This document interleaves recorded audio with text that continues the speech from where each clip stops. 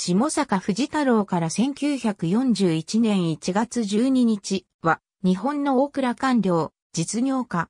理財局銀行課長を最後に退官し、台湾銀行理事、副頭取を歴任。東洋政党、東洋海上保険、日商の各社長。会津藩士、下坂東次郎の長男。三春中学、第一高等学校を経て、1894年、東京帝国大学を卒業。大蔵省に入省し、翌年の第2回文官高等試験に自責合格する。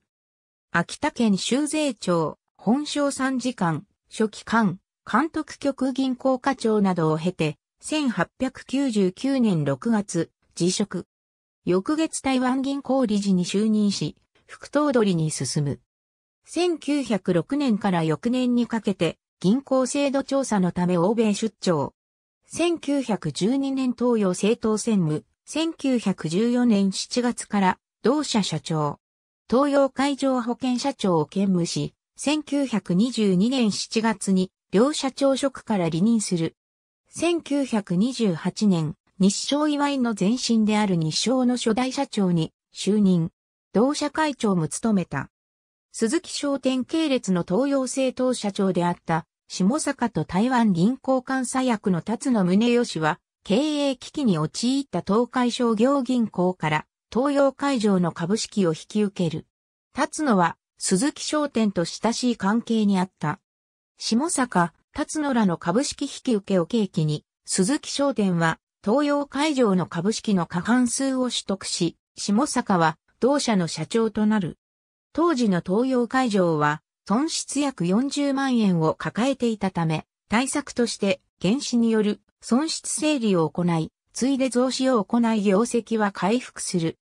東洋会場は海上保険、火災保険、運送保険と業務を拡大するが、鈴木商店が破綻すると、東京海上系列となる。先の増資の際、その3分の1を引き受けたのが東京会場であった。下坂は同点破綻後に鈴木本家の女性、高畑誠一らの依頼で日商の初代社長に就任した。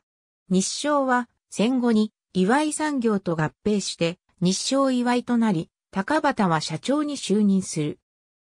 下坂の長男源太郎は立教大学教授、弟で田村家の養子となった東四郎は、河合楽器代表取締役など、複数の企業で役員を務めた実業家、また八郎も日照他の役員を務める。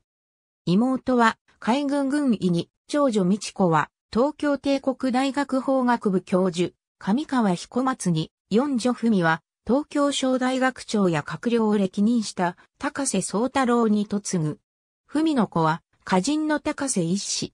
文官高等試験同期で共に大蔵省に入省し、また同時に台湾銀行理事となる辰野宗義は下坂とは同藩出身であった。辰野の父、辰野宗成は都南藩県大族会計係である。辰野は同行監査役も務め1920年まで在任した。この年は森春六郎が台湾銀行副頭取に就任している。下坂、二つの森は共に会津会会員で、また、地商会三女院として、同教更新の育成にも力を尽くした。離任の理由について新聞は、鈴木商店の経営監視に当たるためと報じている。ありがとうございます。